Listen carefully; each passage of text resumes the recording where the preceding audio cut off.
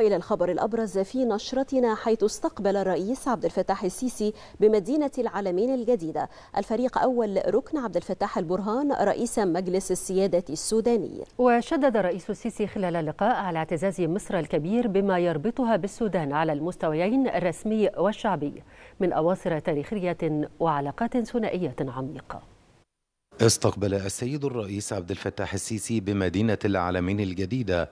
الفريق أول ركن عبد الفتاح البرهان رئيس مجلس السيادة السوداني. المتحدث الرسمي باسم رئاسة الجمهورية صرح بأن السيد الرئيس أكد خلال اللقاء اعتزاز مصر الكبير بما يربطها بالسودان على المستويين الرسمي والشعبي من أواصر تاريخية وعلاقات ثنائية عميقة مؤكدا موقف مصر الثابت والراسخ بالوقوف بجانب السودان ودعم أمنه واستقراره ووحدة وسلامة أراضيه خاصة خلال الظروف الدقيقة الراهنة التي يمر بها أخذا في الاعتبار الروابط الأزلية والمصلحة الاستراتيجية المشتركة التي تجمع بين البلدين الشقيقين. من جانبه أعرب الفريق أول ركن عبد الفتاح البرهان عن تقديره البالغ للعلاقات الأخوية المتينة بين البلدين الشقيقين مشيدا بالمساندة المصرية الصادقة للحفاظ على سلامة واستقرار السودان في ظل المنعطف التاريخي الذي يمر به